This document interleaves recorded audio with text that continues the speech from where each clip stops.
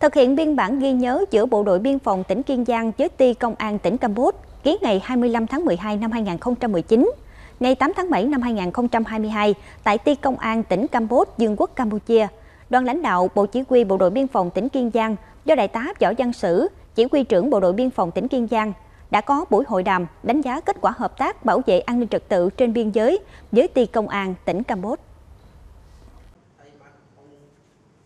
Do ảnh hưởng của đại dịch Covid-19 nên trong một thời gian dài, hai lực lượng không thể tổ chức những buổi họp mặt gặp gỡ trực tiếp nhưng vẫn duy trì mối quan hệ bằng điện đàm, công văn để duy trì trao đổi trong công việc.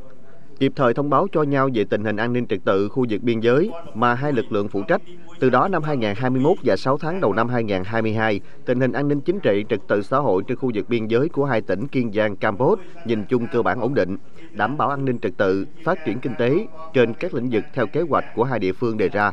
công tác quản lý bảo vệ biên giới kết hợp với phòng chống dịch Covid-19 được tổ chức thực hiện chặt chẽ hiệu quả.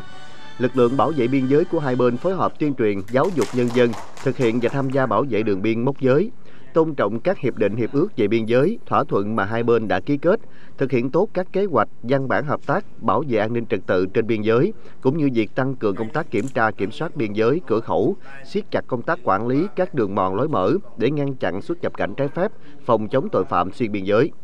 Do vậy, các vụ việc xảy ra trên biên giới, vùng biển đều được phối hợp giải quyết dứt điểm hiệu quả.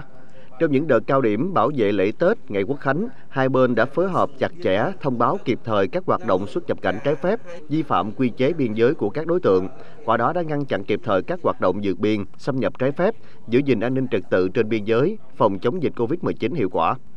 Bên cạnh đó đã chủ động cùng nhau đấu tranh phòng chống buôn bán người qua biên giới, tội phạm ma túy, buôn lậu và gian lận thương mại. Kết thúc buổi làm việc, hai trưởng đoàn đã ký biên bản ghi nhớ hợp tác trong bảo vệ an ninh biên giới những tháng cuối năm 2022.